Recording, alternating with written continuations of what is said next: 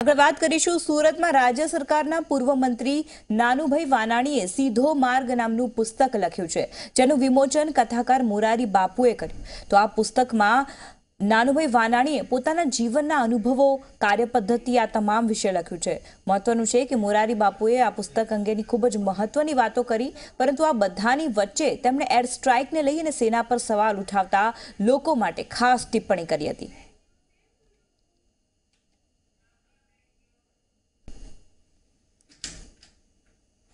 मेरे पांव के छालो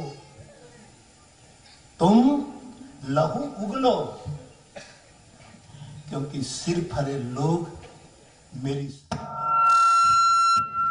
सिर फिरे लोग मेरी सफर का निशान मांगेंगे આજે